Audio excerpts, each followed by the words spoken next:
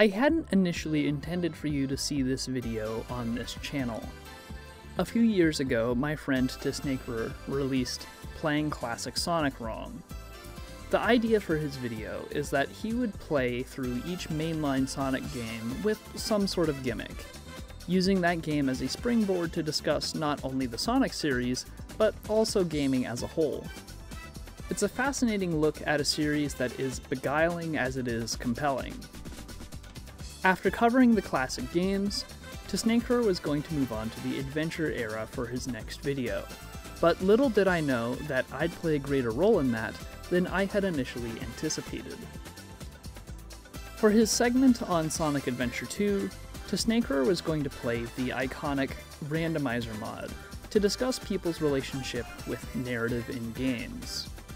However, he admitted that he wasn't very experienced with randomizers, and he wanted to bring in someone a bit more knowledgeable about randomization to discuss what made it appealing.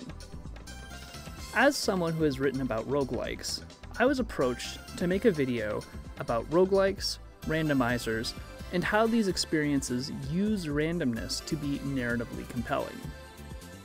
This is the video I made for To Tehsnakerer's project. Ultimately, in the few years since I originally put this together, Snake's vision for the Sonic Adventure 2 segment has changed, in a way that left my contribution a bit unmoored. Because my segment is not going to appear in his video, I'm going to upload it on my own channel. I still like what I wrote in this, and I'd like for people to be able to see it. With that being said, enjoy this segment musing on roguelikes, randomizers, and Sonic.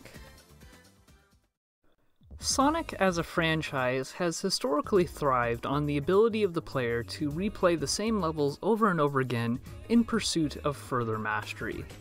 As players become more acquainted with the levels, they're able to blaze through them faster. This, in my experience with Sonic, is the core of the franchise, and that's part of why the Sonic Adventure 2 randomizer is such a departure from the normal Sonic experience. It takes the gameplay that normally rewards familiarity and consistency and introduces an element of chaos. I mean, chaos. Procedural generation can serve a lot of purposes in game design. Sometimes it's employed as a way of nerfing the effectiveness of memorization. Other times, it's an effective way of keeping levels feeling novel through repeat playthroughs. However, one of the most fascinating applications of randomization can be found in how randomness sows the seeds of stories so chaotic they couldn't be planned, not by the player or the developer. This is an application of randomness that roguelikes and randomizer mods are great at demonstrating. On paper, Rogue's story was an incredibly simple affair. You are an adventurer, tasked with entering a treacherous dungeon, finding the Amulet of Yendor, and getting out. Super simple. As other procedural dungeon crawling games started taking influence from Rogue and building on its mechanics, they largely retained these utterly simplistic stories about hunting MacGuffins. Kill the Balrog, kill Melkor, collect the Orb of Zot, that kind of thing. NetHack literally reuses the Amulet of Yendor from Rogue. One might think that because of their simple on paper stories, roguelikes aren't all that narratively interesting, but this assumption would be incorrect. It isn't that roguelikes don't care about stories, it's that they're less concerned with telling the story the developer wants to tell, and far more concerned with using procedural generation to let the player experience their own story. In this regard, the simple developer written stories aren't a liability, but an asset. Every player has the same starting point for their adventure.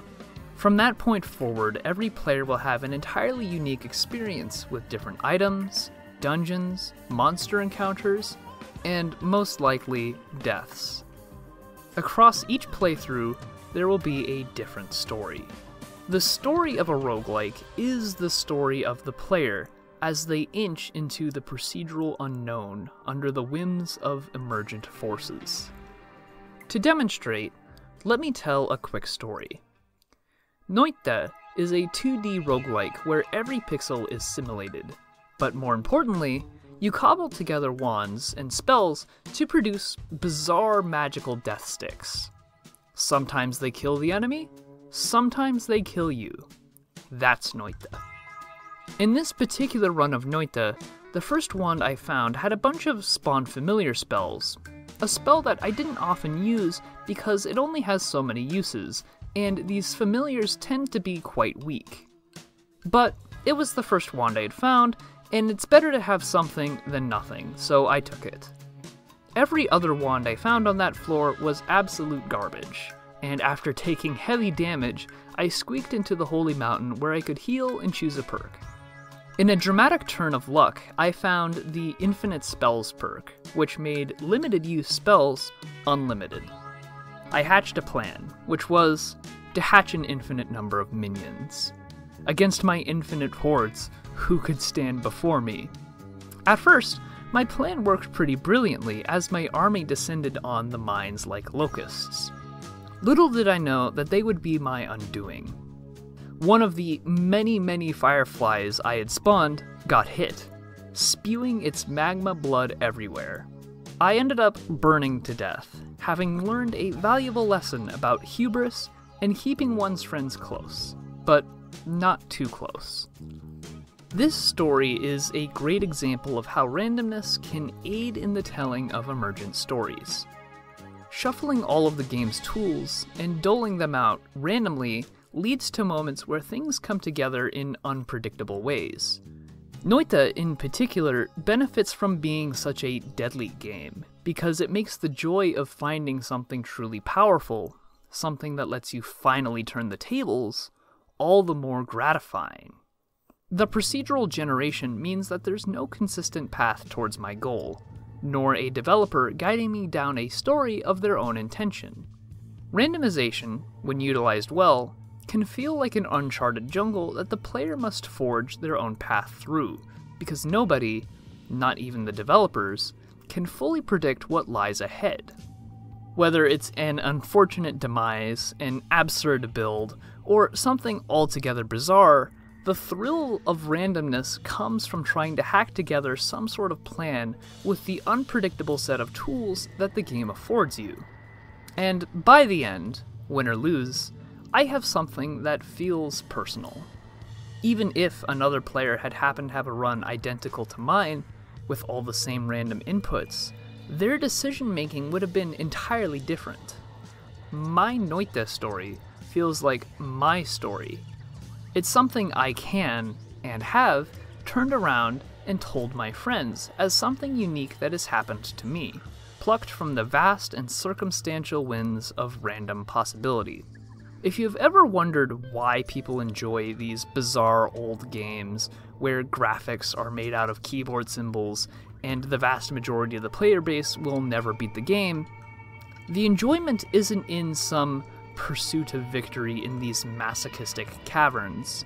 It lies in the strange stories that are told as adventurers trudge on to their likely demise. As a Dwarf Fortress player would say, losing is fun. I used roguelikes to demonstrate the ways in which randomness can be beneficial to the creation of unpredictable, yet extremely personal stories. But roguelikes by no means have a monopoly on that. Randomizers are a particular sort of mod made for the sorts of games that are filled with developer intentionality. They take games where specific items are supposed to be found in specific places, and they shuffle everything around so that any chest could theoretically hold almost any item in the game. Even more so than roguelikes, randomizers thrive on a sense of unintentionality, that their play requires transgressing the way things are supposed to be. Part of what makes randomizers so interesting to play is that because your toolset is given back in a random fashion, the player must develop ingenuitive solutions to solve problems that the developers hadn't even intended. Often, this involves breaking the game or tackling challenges in a particular order that you typically don't see. And despite being a bit more of a hassle than what was originally intended, players feel a rush as they put to use niche aspects of their toolset that are rarely needed in normal play. Every new unlock has the potential to be groundbreaking. Chests that in the normal game obviously weren't intended to be anything special can, in a randomized run, be a breakthrough moment that rewards players with a pivotal item.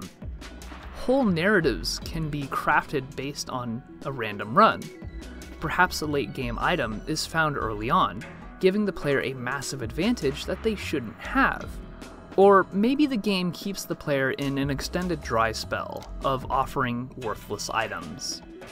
Each run has the potential to be unique and interesting, as the items the game gives the player have a massive impact on the agency they can exert onto the world. They're definitely an odd sort of mod, and they usually require the player to be fairly knowledgeable about the base game, but they leverage the same ludonarrative advantages that randomness affords roguelikes to produce unique and unpredictable player stories driven by mechanical experiences. Sonic Adventure 2, more than most games with randomizer mods, has missions that are meant to be experienced in a specific order with specific characters. How well it manages to mold itself into a randomized framework, that's ultimately not for me to say. But at the very least, chaos will be there to some extent.